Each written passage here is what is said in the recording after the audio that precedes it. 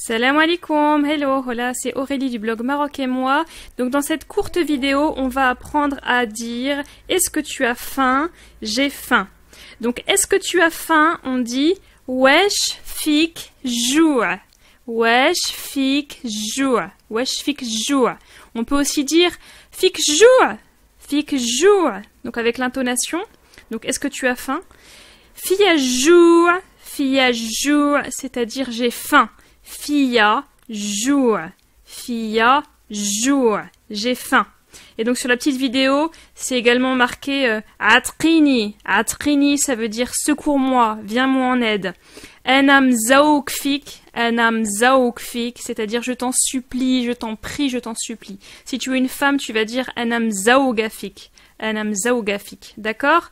Donc wesh fik jour, fia jour. Est-ce que tu as faim? J'ai faim.